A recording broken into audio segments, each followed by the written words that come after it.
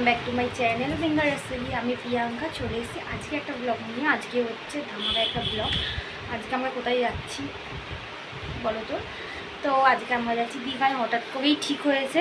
তো রেডি হয়ে গেছি। কালকেই ঠিক হয়েছে। তো কালকে কোনো ব্লগ করা হয়নি, তো আজকে বলছি।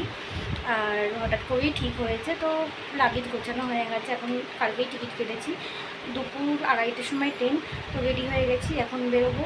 তাহলে আমাদের সাথে মাম্মাম যাচ্ছে। মাম্মামের বাবা আমি আর মাম্মাম এই তিনজনেই যাচ্ছি। তো চলো ওখানে গিয়ে কেমন ঘুরি কী কী করি সব তোমাদের সাথে দেখাবো। তাহলে ভিডিওটা দেখতে থাকো সাথে থাকো। গেছি সবাই এখন বেরোবো আর লাকি তো এখানে ছটপট ছটপট করছে। এই যে লাকি আমরা চলে যাচ্ছি। ও বাবা আসছি। টাটা। টাকায়ও না একবার। টাটা। আসছি হ্যাঁ। এই যে সামনে অদ্রিজা অদ্রিজার বাবা যাচ্ছে। তারপর আবার একটু পরে দেখা হচ্ছে। তো ভিডিওটার সাথে থাকো দেখতে থাকো। টোটোতে বসেছি কন্যগর স্টেশনে যাব। কন্যগর থেকে হাওড়া তারপর আমাদের ট্রেন আছে। তো চলো তাহলে গিয়ে দেখা হচ্ছে। স্টেশনে চলে এসেছি আমরা.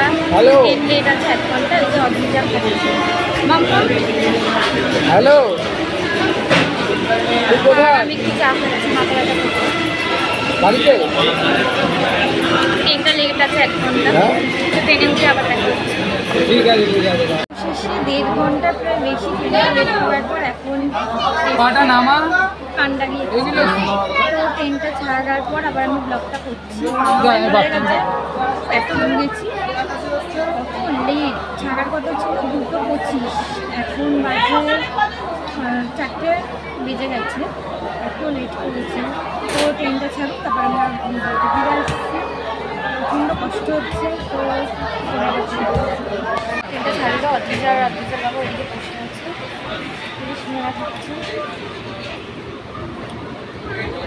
মাম্মাম অদ্রিজা?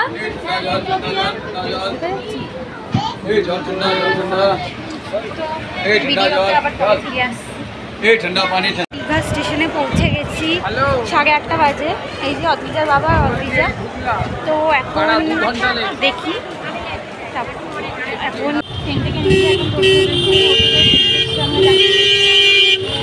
এখন প্রচণ্ড জ্যাম মনে বাজছে ভালো কথা বলতে পারব না শুনতে পারব তো হোটেলটা পেয়ে গেলে আমি আবার আমাদের ফ্লাইটে যাব।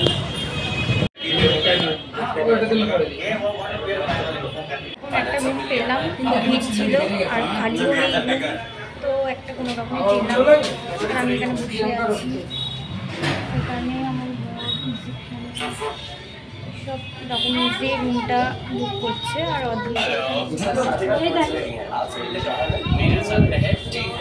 খুব মজা অদ্রিজার আর তার তো রুম নেওয়ার পর ফ্রেশ হয়ে আবার ফিরে আসছি। খুব কষ্ট হয়েছে আর ট্রেনটা লেট করেছে বলে অনেক রাতও হয়ে গেছে, নটা বেজে গেছে, তো আবার ফিরে আসছি। আমরা আপাতত একটা রুম পেয়েছি। এখানে এত রুমের মানে সব জায়গায় বুকিং হয়ে গেছে, কোনো জায়গায় রুম নেই, আর তার মধ্যে আমরা বুকিং করেও আসিনি। হঠাৎ করে ঠিক হয়েছে যে দীঘা আসব। রুমই খুঁজে পাচ্ছি না, পায়ের অবস্থা খারাপ রুম খুঁজতে খুঁজতে বৃষ্টিতেও অলরেডি ভিজে গেছি, প্রচণ্ড বৃষ্টিতে। সব এখন চেঞ্জ ফেঞ্জ করলাম, অদ্রিজাও ভিজে গেছে। বর এখন খাবার আনতে গেছে রাত্রিরে ডিনারের জন্য। মেয়ে খাবে, অদ্রিজা। মানে ওরও আজকে সারাদিন কষ্ট হয়েছে, তার মধ্যে ট্রেন লেট ছিল। তো কালকে থেকে দীঘার খাওয়া দাওয়া কী কী করছি, ঘুরছি, সব তোমরা ব্লগে পেয়ে যাবে। আর আজকে এত টায়ার্ড আছি, তো ভিডিওটা এখানেই এন্ড করছি।